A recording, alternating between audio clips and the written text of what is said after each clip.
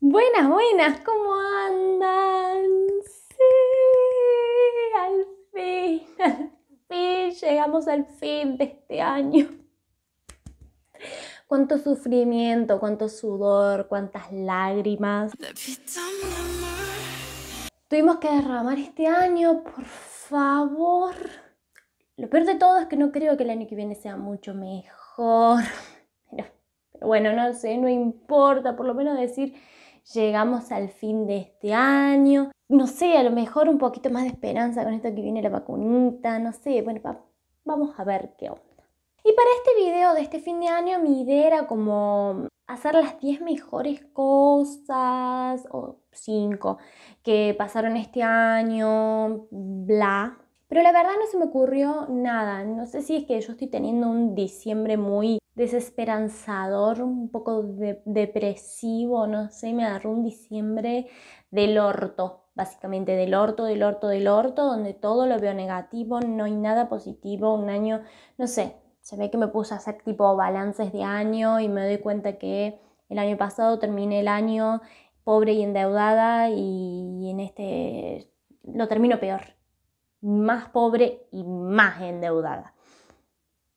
Entonces, bueno, básicamente me agarró una angustia que no pude ver nada positivo. Entonces, lo único que me queda de este año que lo hace súper memorable fue la tremenda pandemia mundial que estamos viviendo, ¿no? Pero, pero es que cuando uno piensa en una pandemia, en, un caos mundial, eh, virus que mata gente, uno se espera otras cosas, ¿no? No lo que terminó siendo una pandemia aburridísima, aburridísima. Yo, les voy a ser sincera, estuve esperando desde la hora cero que anunciaron todo esto, que llegaran los zombies. Y no llegaron nunca, estoy desilusionadísima, desilusionadísima. ¿Dónde están mis zombies? Sorry, yo quiero una pandemia posta, quiero una pandemia con gente muerta caníbal. Básicamente quiero eso. Entonces, ya que no lo tuvimos en la vida real, voy a hablar de eso en el mundo de la ficción. Porque sí, porque en este canal amamos la ficción. Entonces, les voy a contar más o menos cuáles son para mí desde las peores historias de zombie que he visto hasta la mejor. ¿Ok? Voy a hablar de series y tanto de series como de películas. Puede ser que, se que me falte alguna, obvio, pero bueno, cualquier cosa me lo dejan en los comentarios. Si les parece que hay alguna que no esté nombrando, y ya que están cerca de los comentarios, me pueden poner me gusta y suscribirse. No se olviden, por favor. Comencemos. La peor historia de zombie. A ver, esto es un poco polémico, pero para mí la peor fue hashtag vivo, que, estuvo, que se estrenó este año en Netflix, que yo creo que a propósito de la pandemia y todo, ponen una, una, película de zombies. ¿Qué me pasó con esta película? Los zombies coreanos para mí son de primerísima calidad. ¿Ok? Me parece que son los putos amos de los zombies los coreanos. Así de fácil. Y me pasó con esta película que primero la transformación del zombie... Rara, media, media chota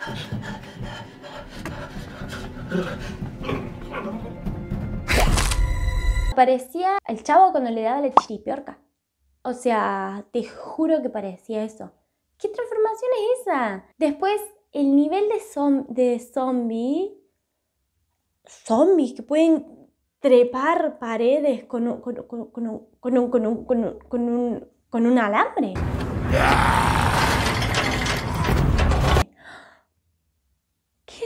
Eso, yo quiero zombies que trepan, que trepan muros porque se trepan entre ellos.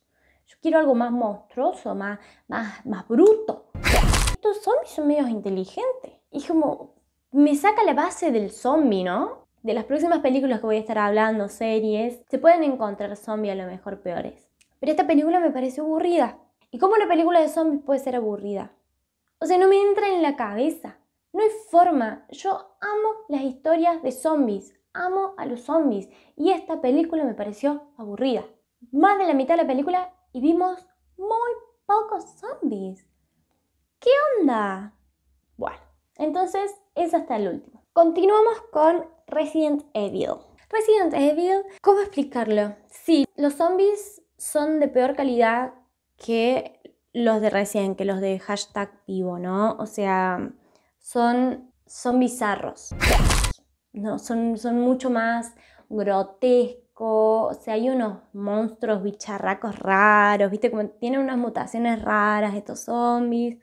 Pero bueno, de por sí toda la película es ciencia ficción pura, ¿me entendés? Normalmente lo que a mí me gusta de las películas de zombies es que a pesar de ser ficciones, a pesar de uno saber que los zombies no existen en la vida real, es como bastante creíble de que si algún día estamos en una, invasión zombie, como que realmente sería así la vida, ¿me entendés? También Resident Evil no es. Es una locura lo que pasa en Resident Evil.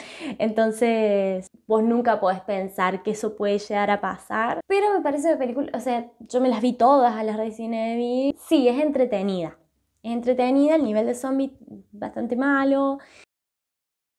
Así que bueno, por eso está en el penúltimo lugar. Bien, después de Resident Evil, vamos a continuar con Guerra Mundial Z. ¿Por qué está acá? Este está en puesto 4. Puesto número 4. Porque me pasa con esta película que no es tan mala la calidad de los zombies, pero me la baja un montón que, que esquiven a la gente enferma.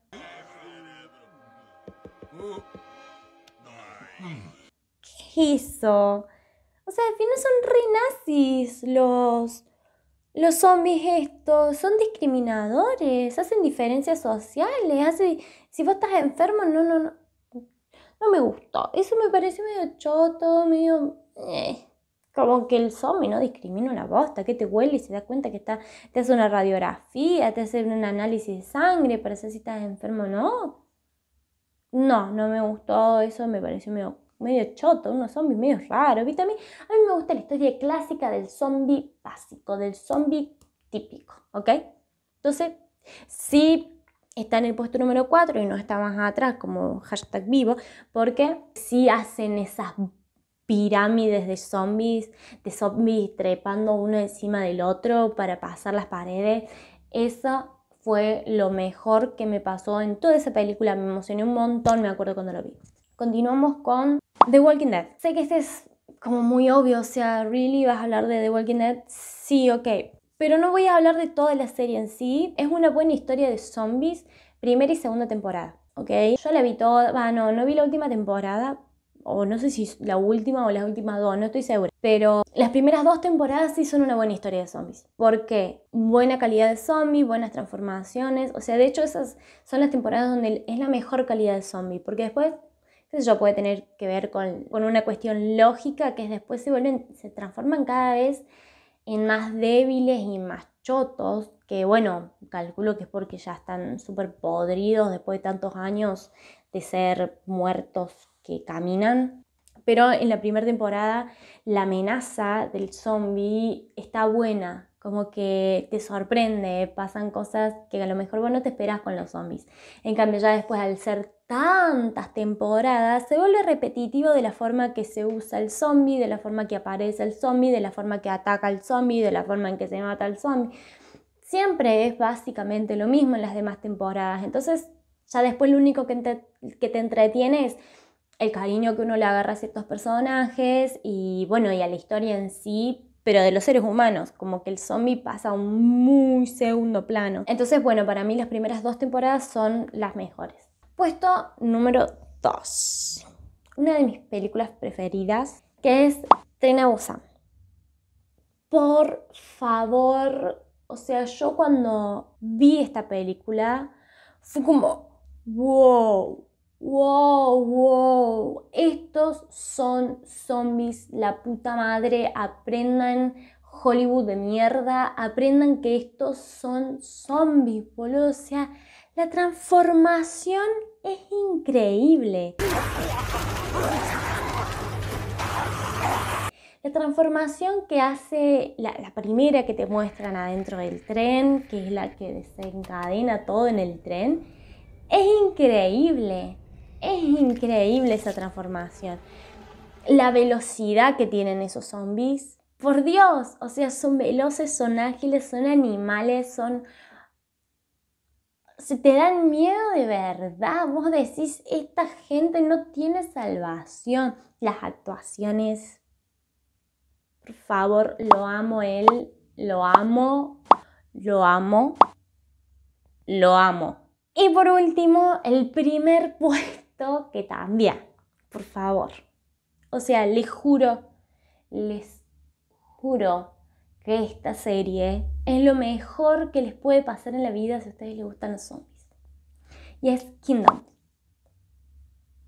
Por favor, o sea, es una maravilla. Es una obra de arte. O sea, está ambientada en época medieval. No, no sé si es medieval. O sea, como de la antigüedad coreana. Así que hay un emperador. La historia humana es buenísima, la historia de los zombies es buenísima. Se mezcla la historia humana con la historia de los zombies. Te sorprende a cada rato. De repente vos sabés una cosa de los zombies y de repente cambia y se transforma en otra.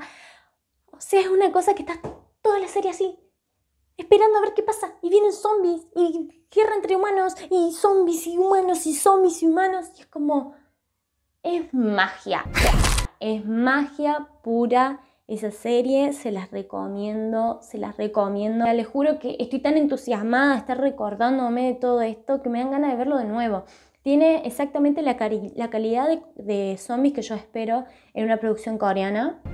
Velocidad. Son súper creíbles, súper creíbles. La historia, te dejan bien redondita la historia en Kingdoms. Vos entendés perfectamente de dónde vienen los zombies. Todo, todo, todo, todo, todo, todo es increíble. O sea, si yo tuviera que transitar una pandemia, quisiera que sea. Así que bueno, les deseo un muy buen año nuevo a todos. Por favor, que este 2021 sea mucho mejor. Muchas gracias por el aguante a toda la gente nueva que se suscribió a mi canal y que le gustan mis videos. Muchas gracias por comentar. Les juro que lo re, re, re valoro y los me gusta y todo el apoyo. Muchísimas gracias y si, se quiere, y si me quieren ayudar un poquito más, pueden compartir este video quien ustedes crean que les puede gustar. Si ustedes saben alguna otra película o serie que esté buena de zombies, me lo pueden dejar en los comentarios porque a mí me encantan y seguramente las voy a estar viendo. Y nada, suscribirse. Un besito, chao, chao.